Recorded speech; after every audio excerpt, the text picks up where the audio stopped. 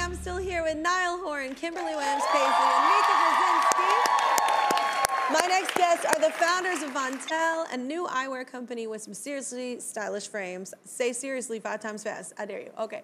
Even more impressive, they launched this company in the pandemic and still succeeded, which is crazy. Both are mamas in their 50s, proving it's never too late to try something big. Everybody say hi to Tracy and Nancey. All right, so meet Kimberly, meet Niall, meet Mika. Love your glasses. Thank They're you. super cool. I know. I love the ones you're wearing right now too. Thank so, you. so to Nancey Tracy, uh, you've been friends for years, but what? This is your first business together, right? So, what made you want to do this? Man, it was crazy. We just basically found out that eyewear doesn't fit our faces. Uh, we're both from New York. We met in college at Morgan State University at HBCU in Baltimore, Maryland. And after college, I went into finance. I became a CFO of a hospital organization. Yeah. And Nancy was in sales and marketing at a big media company. But then one day I lost my glasses. And I called my best friend to complain about it. I was just like, they don't look great and they don't fit. Yeah.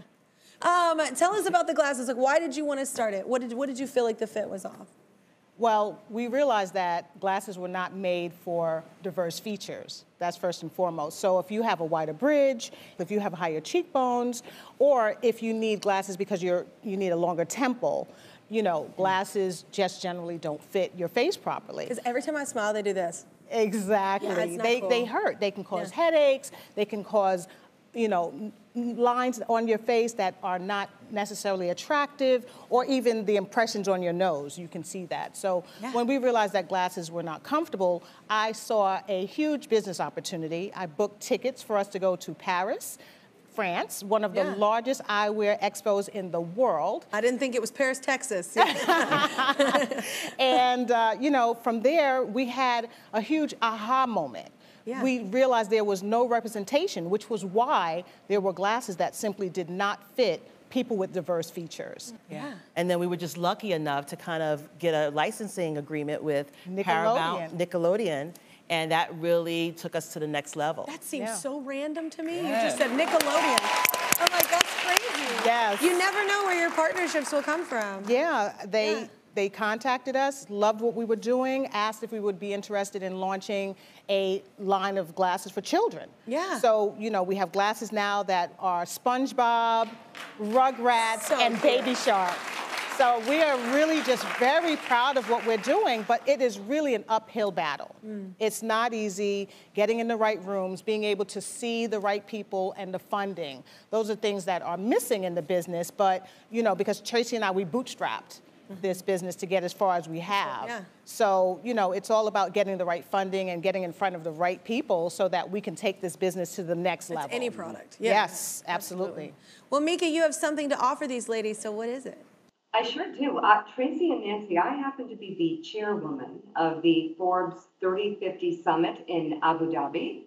And this is, of course, the 50 over 50 lists and the 30 under 30 lists coming together in Abu Dhabi to hear from people like Hillary Clinton, Billie Jean King, Malala, Misty Copeland, Catherine O'Hara, a lot of like amazing people on stage, but also business owners and people who have started up uh, new ideas. Ayesha Curry is going to be there, Jessica Alba. You know who's going to be there? Karen Wazen of KW Eyewear. I would love to invite you both. I will gift you tickets to be my guest at the 3050 Summit in Abu Dhabi. So you can come with me to network, to make connections, to share ideas, and to help lift women up from around the world. Will you come with me? Amazing. You're beaming. Thank you, Mika. That's so cool. That's it. That, everybody just needs opportunity. That's incredible, Mika. That one, you are in the position to be able to do that for people, and that you do so. And then also, it's incredible to have that opportunity, like come come at you. I I can tell Tracy and Nancey are excited, okay, but also wondering how they'll be able to, you know, Abu Dhabi. For this game-changing event, that getting there is going to be well pricey, but don't worry because we got you covered. Etihad Airways is the official airline partner of the summit, and they're hooking you each up with round-trip tickets to the UAE's capital city, so you don't have to pay to be there. Hooking up with flights and everything. And actually, that's not all. Because you mentioned it is about finding networking stuff, but it's also very expensive to make this all happen. So she's gonna help you get in, we're gonna help you get there. And then also, that's not all. Forbes wants to be sure that you enjoy your stay in comfort, so they are covering the five night hotel stay for you as well. Oh, oh my God! This would be incredible. The 3050 Summit is March 7th through the 10th, everybody. Mika will be there covering it on Morning Joe, which you can catch weekdays on MSNBC from 6 a.m. to 10 a.m.